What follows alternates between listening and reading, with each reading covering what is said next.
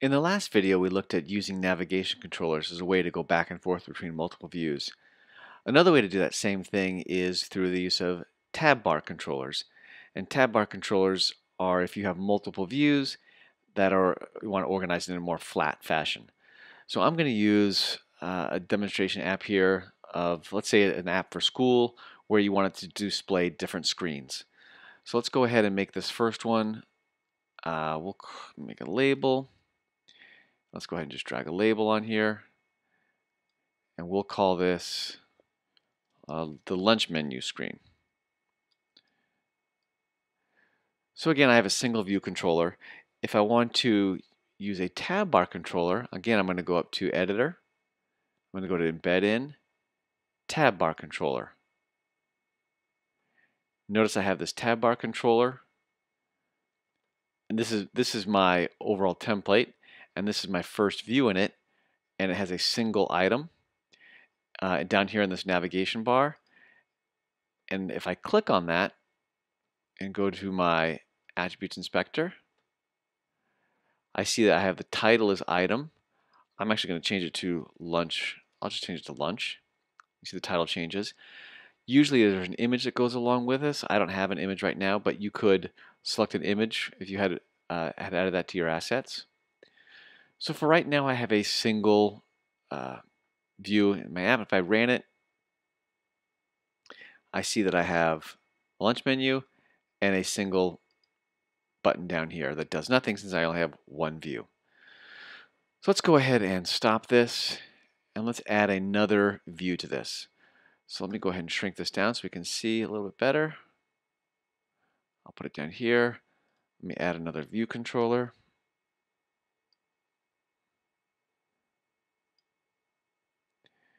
Now this will be my sports schedule view. So the question is, how do I get this to be part of my tab view controller? Well, the easiest way is to use the control key. I'm going to go to my tab view controller, hold the control key down, and click and drag until my new view controller is selected. And instead of a show or present mode like we saw last time, I'm going to the relationship segue and choose view controller. And you can see by doing that, I get a, a segue here and I get a new item.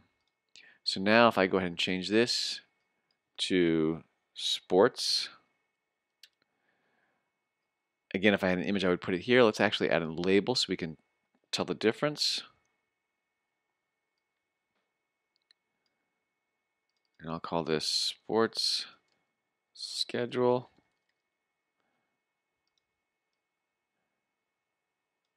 Now when I go ahead and run this, you notice I have two tabs down here, lunch and sports, and I can easily click back and forth between the two of them. So you can see tab bars are very simple to set up. And going back for a second, if I click on this tab bar and go back to my attributes inspector, you can see all the different things, how you can customize it by color and tint and so on.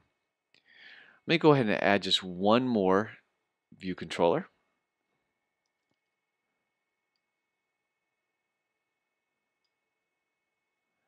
And I'll call it maybe, maybe the bell schedule.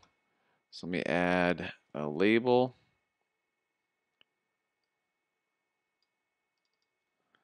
Bell schedule.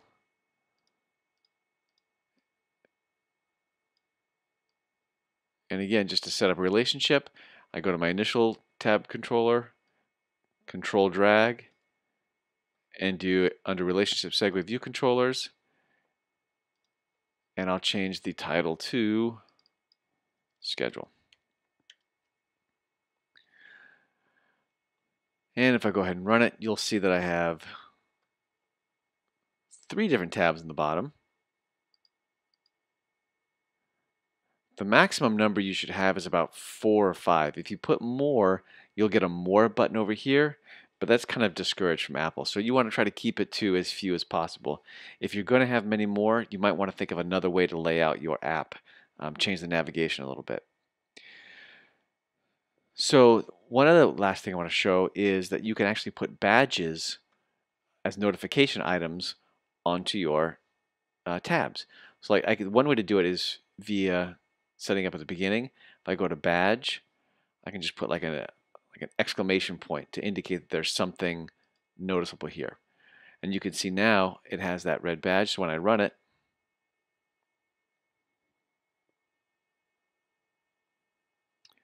I have a notification. And if I had an icon, it would be over the icon. But you can see now it really draws the user's eye. Obviously, there's you're probably not going to want to have notifications set up in your code. You want, I mean, sorry, you're not going to want to have it set up in Interface Builder. You're probably going to want to set it up in code. So let's go ahead and get rid of that and see how we would do that. Again, this was my first view controller, and as we saw last time, it's the only one with class view controller right now. So I can only write code for this one.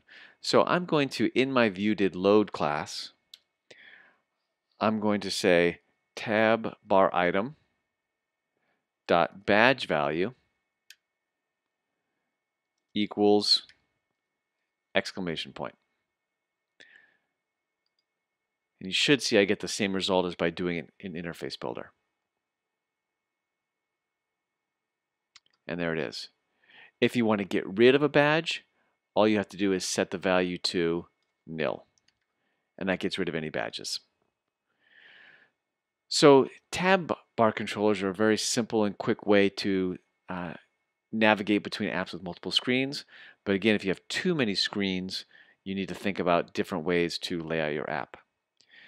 In the next video, we'll take a very quick look at the life cycle of an app and see which methods are called as your app opens and closes, goes to the back background, etc.